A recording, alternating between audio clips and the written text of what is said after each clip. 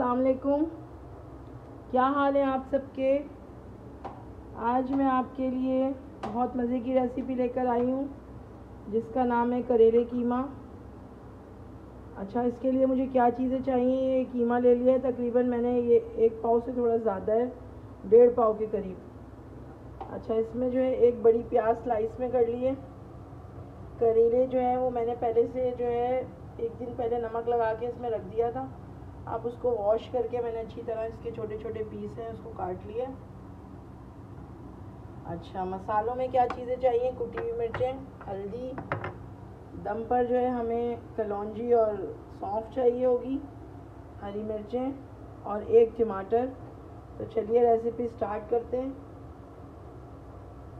इसमें मान रही मैंने यहाँ पर पैन गरम करने के लिए रख दिया है। तकरीबन ये थ्री टेबल स्पून मैं ईवा की ऑयल के डालूँगी। ये देखें, तकरीबन ये वाले थ्री टेबल स्पून भर के मैंने ईवा की ऑयल के शामिल कर, तेल डाल दिए।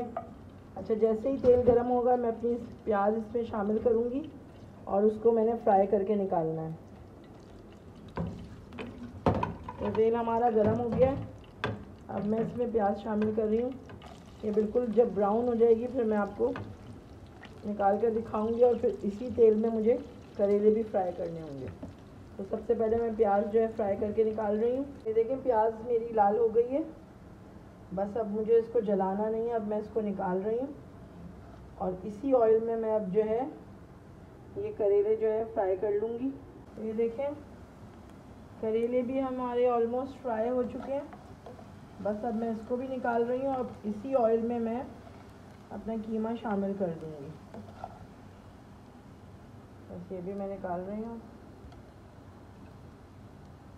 कड़वे ये बिल्कुल भी नहीं होंगे, क्योंकि एक दिन पहले मैंने इनको नमक लगा के रख दिया था। देखिए, उसी ऑयल में मैंने कीमा शामिल कर दिया और जैसे ही कीमे का कलर चेंज होगा तो मैं ये वाला भर के लहसुन अदरक का पेस्ट इसमें शामिल कर दूँगी। ये देखिए लहसुन अदरक भी मैंने इसमें डाल दिया इसी में इसका कलर चेंज हो जाएगा और ये भुन जाएगा अब इसमें। ड्राई मसाले भी मैं शामिल कर रही हूँ। जब तक इसका कलर चेंज हो रहा है कीमे का।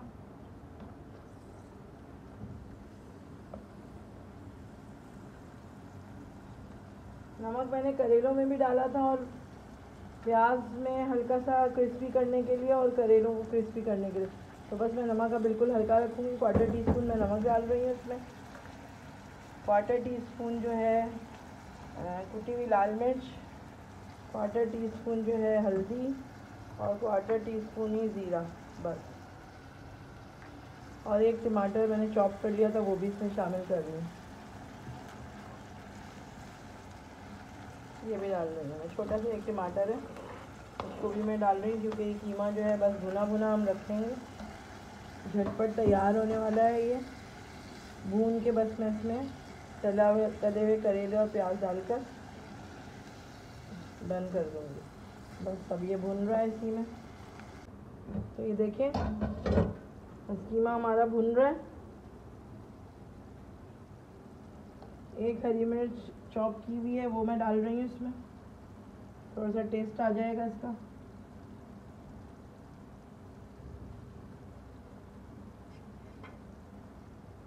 जैसे ये ड्राई होगा मैं इसमें तली हुई प्याज और करेले शामिल कर दूँगी। और दम पे सौंफ कलौजी। ये जो मैंने तवे पे भून ली है थोड़ी सी वो डालूँगी। हरा धनिया डालूँगी और ये डन हो जाएगा हमारा करेले कीमा। ये देखें थोड़ा सा मुझे इसको ड्राई करना है।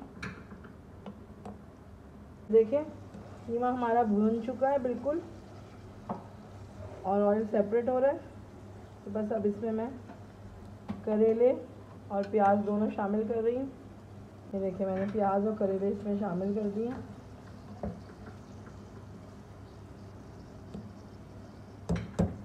बस मिक्स करके दम पे जो है सौंफ कलौजी डाल दिए मैंने और ऊपर से हरा धनिया गार्निश करूँगी।